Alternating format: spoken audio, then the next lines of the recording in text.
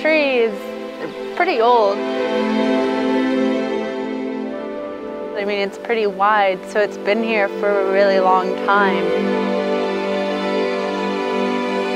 It works within an ecosystem, not against an ecosystem. Its roots are really deep, it, they've spread around, they provide nutrients to other plants around. We should kind of look at his a tree as an example.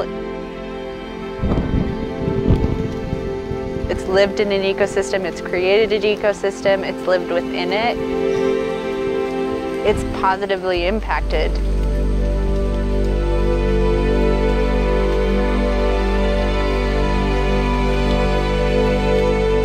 Trees are a perfect example of kind of how humans should act essentially.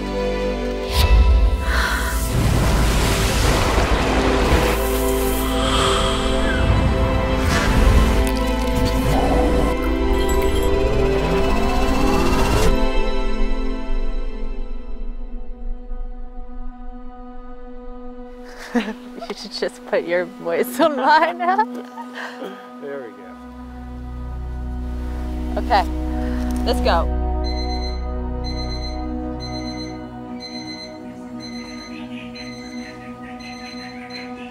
I work as the Director of Wildlife Rehabilitation at Think Wild.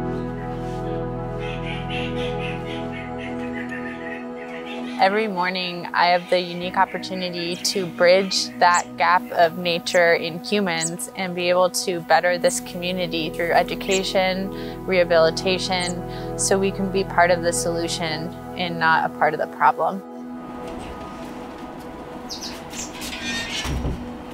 Think Wild exists in Central Oregon because there is such a need for a rehabilitation hospital as well as conservation center because animal or wildlife are getting injured every day due to human impacts.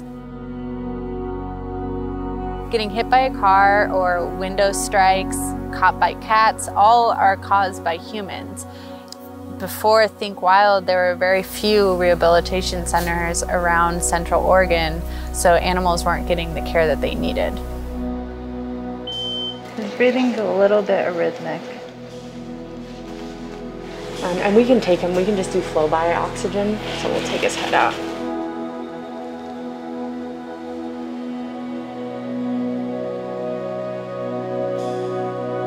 I saw him pull his head back slightly. Oh, you did? Is he somewhat reactive? Right here, you see that how this bone is just sticking out, and then Uh-huh. look at it on the lateral. We diagnosed a coracoid fracture. So we see this in birds that hit windows just from the blunt force trauma of going their fastest speed basically and hitting the window. So this is a common injury we see. Whether it's putting up window strips so the birds don't hit your windows, or it's driving a little bit slower around the areas that you know deer are crossing the road. We want people to be thinking every day in just their small everyday decisions. It's really an ethos. So don't want the wildlife to get injured. I'm Caroline. I'm Elif. So nice to meet you. Watch yourself. Uh, way to fall. Do you want me to put the food out? to encourage wildlife to flourish, then we need to kind of give them the tools to do it and, and the space to do it. And more the space. So we're basically promoting flight. This is flight therapy to kind of amp up his ability to fly long distances and soar. And this is really the first time that I've seen him kind of bank up and then land down. So he's made a significant improvement in flight. So we're, we're basically test flying him. The issue that I see happening is that there is a separation between humans and the environment, and that humans think that they are above the environment or not a part of an ecosystem. And Think Wild has this unique opportunity of bridging that knowledge gap and showing humans that we are very much a part of an ecosystem and how they can make a positive impact on an ecosystem or the community in which they live in. Oh, sometimes the world can feel really depressing. Yeah.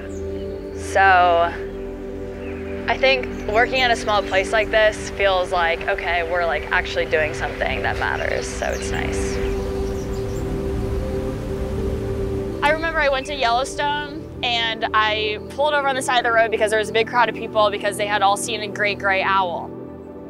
And that is like a really rare animal to see, really exciting. And you know, everybody was really amazed. And I thought, oh, that's, you know, that's really neat. I've never seen that before. A couple weeks later, that Think Wild got their first great gray owl in for care. And I happened to be there that day. And I was just like, you know, here we are in Bend, Oregon, this small wildlife hospital, and we just got this rare animal in that, you know, people were so excited to be seeing. And we were actually able to rescue it, rehabilitate it. Uh, and I was the one who brought the owl to the release site and watched it fly off into the wild.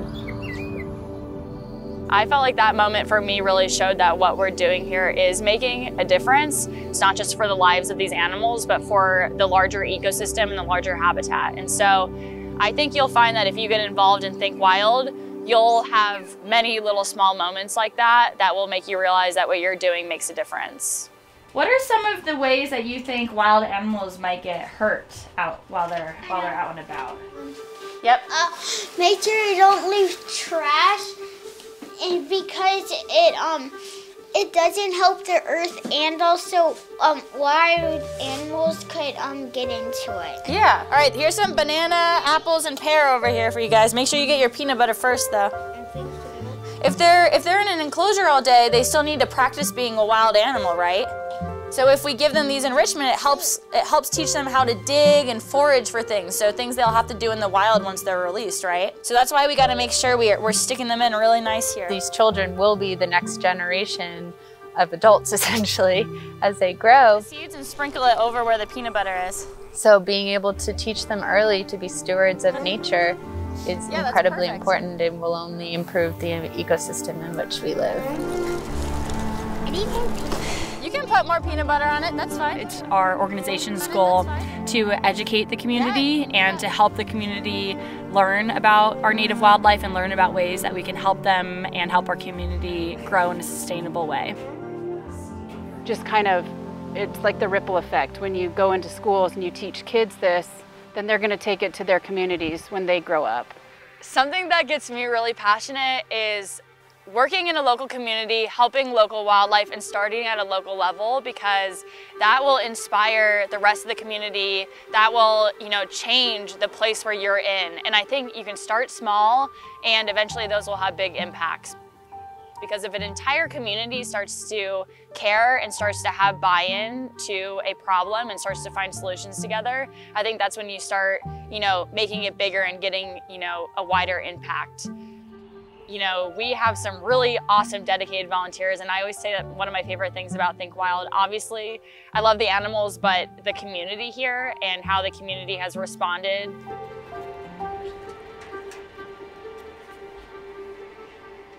We have very dedicated volunteers that allow us to fulfill and even surpass our mission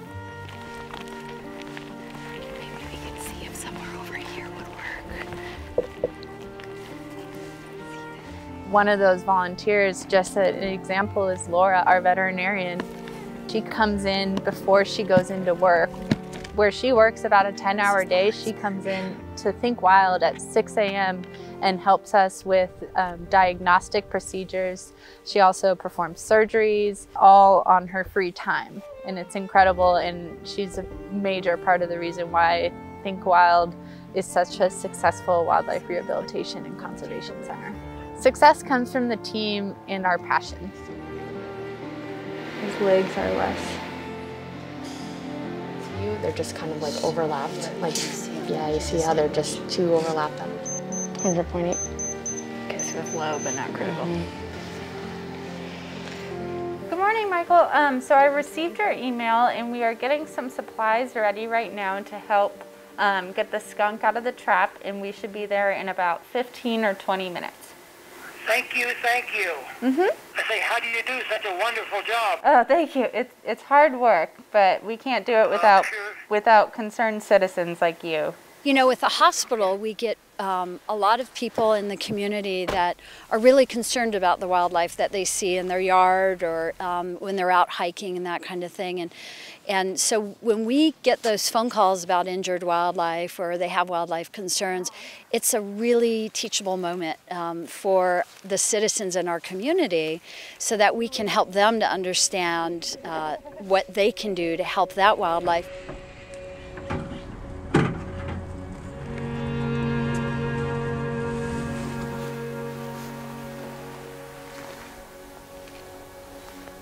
Perfect. Got him. He's good to go. Perfect. And then also, really, I like to call it the gateway drug uh, to conservation. It really gets them thinking about how are we impacting wildlife and how can we maybe make different choices or, or do things a little bit differently so that wildlife is always sort of top of mind. Helping wildlife to be um, more successful out away from that and, and conserving their habitats so they're successful in the long run. The hardest ones that I get in are completely human impacted. So like those osprey coming in, I definitely almost cried.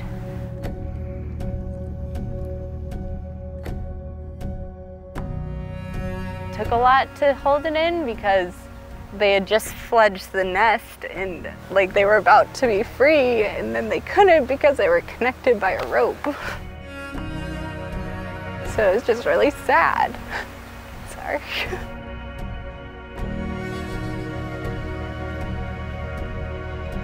the moment I, like an animal is admitted and there's an initial feeling of sadness that, wow, that animal came in here because it was injured. But then there's this feeling of kind of, wow, I can make a difference by bettering the community in which I live.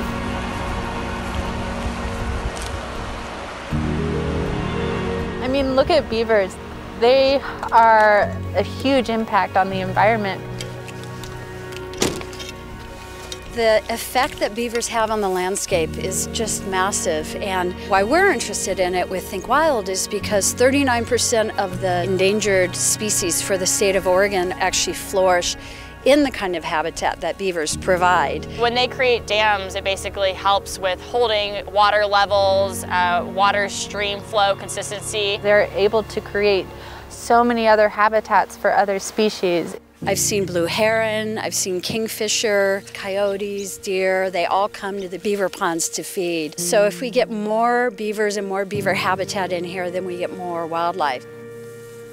I'm looking for whether there's a den. I'm also looking for other damming activities. You can see in here, um, they have little feeding stations, little areas where they kind of park and um, decide that they want to hang out and eat or groom or what have you. You can see there's little channels. And so I'm going to set my camera on that trail because I want to get an idea of how big they are, how many there are, um, and also what direction, and then see if I can uh, see them moving food up or down their stream. Yeah, I think we'll get some good footage there, as long as otters don't screw with it.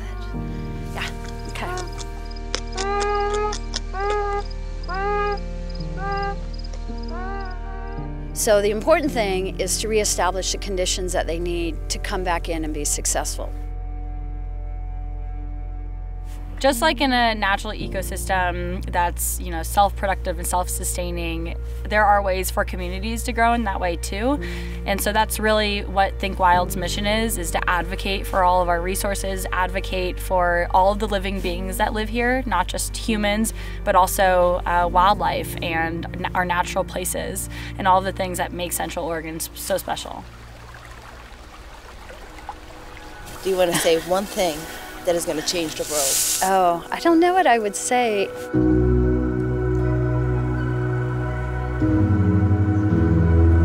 It's really important that people come and be a part of our mission because we can't do what we do without the help of the community to really help reduce human wildlife conflict, to help be stewards of the environment rather than a part of the problem. There's a lot of opportunity to help. Come volunteer, come donate, come see the difference we make in the community. Somehow, in the last year and a half, now we have, I guess, six staff and over 130 volunteers involved with Think Wild.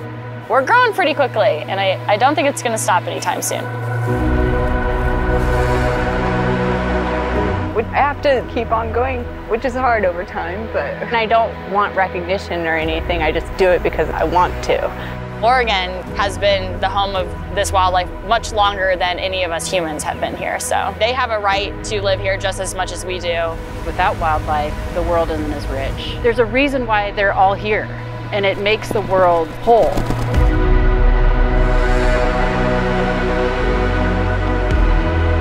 Really a part of nature.